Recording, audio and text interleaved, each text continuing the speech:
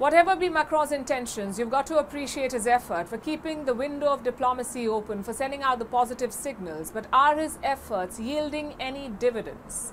Also, what about the other stakeholders in this conflict? Where are they taking the narrative? Do they expect the talks to deliver? To discuss all of this and more, I'm joined by our correspondents from three capitals across the world. Julia Chapman with us from Moscow, Simon Marks from Washington, D.C., and Ollie Barrett from London. Hello to all of you from Kiev. Julia, let's start with you. Emmanuel Macron held a five hour long marathon meeting with Vladimir Putin. How does Russia see this meeting? Has Macron been able to shift the situation in favor of diplomacy? After the five hours plus of dialogue that was held between President Macron and President Vladimir Putin, they finally came out and gave a press conference which was very short on detail. President Putin said that Emmanuel Macron raised some ideas that could form the basis of future negotiations. And he did say that Russia was trying to find some sort of compromise that would suit everybody. But there was no deal that had been heralded by the French side ahead of these talks. That said, uh, according to the Financial Times newspaper, some French officials are briefing that there was uh, a, a, at least steps towards an agreement on military de escalation, something that President Macron said he wouldn't leave Moscow without.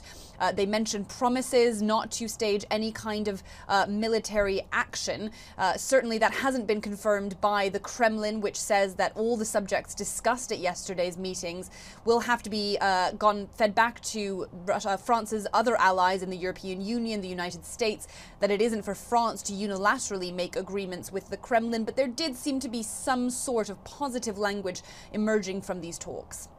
Simon, Joe Biden says that it would be wise for American citizens to leave Ukraine at the earliest. Tell us about the threat perception in Washington, D.C. Also, did the meeting with Olaf Scholz yield any dividends, uh, given how they were clearly at odds over the future of Nord Stream 2.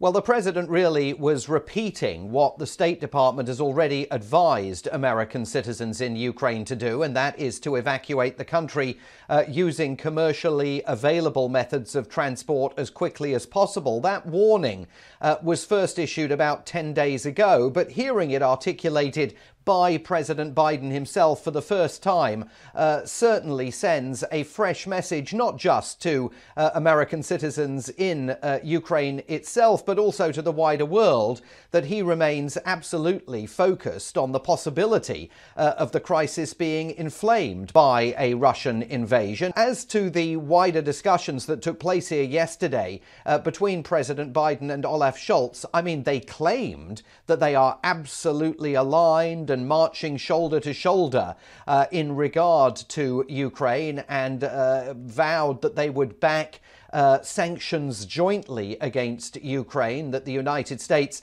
uh, continues to say will be swift and severe uh, if a Russian invasion occurs. But it was absolutely evident at their joint press conference that there is still a tremendous gulf between them over the issue of Nord Stream 2, that gas pipeline that's going to bring natural gas from Russia uh, to Germany and on to the rest of Europe. Uh, President Biden darkly hinting that the United States has some kind of a plan. American officials won't uh, detail it.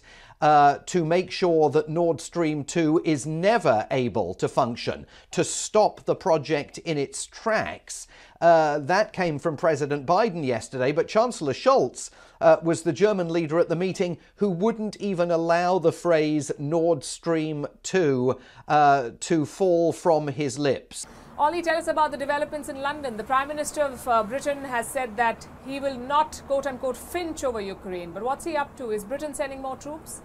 Boris Johnson certainly wants to send that message. He says Britain won't flinch uh, in the face of moves by Russia, and he also wants to show to Ukraine that London very much stands behind Kiev. Of course, Boris Johnson himself was in Kiev uh, earlier this week. We also know that Liz Truss, the Foreign Secretary, and Ben Wallace, the UK Defence Secretary, are due to travel to Moscow within days to meet their counterparts in Moscow. Uh, Boris Johnson uh, continues to reiterate his support for the Ukrainians, for the NATO military alliance, and has been considering a number of moves that relate to the movement of troops and military hardware uh, around Eastern Europe to send that message to Moscow that Britain uh, is not going to, as I say, flinch, which is the word that Boris Johnson has been using himself. Uh, the UK also feels it's been showing a great deal of support in practical terms to Ukraine